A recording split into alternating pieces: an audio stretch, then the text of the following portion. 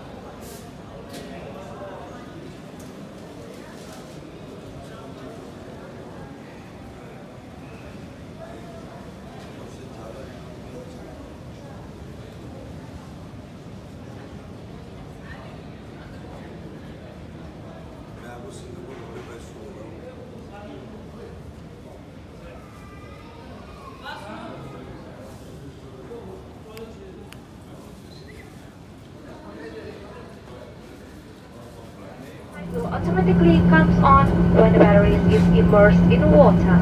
Blow this whistle to attract attention. Please take note of the luminous strips. In an emergency evacuation, follow this strip to the exit. Do take note of the exits nearest to you.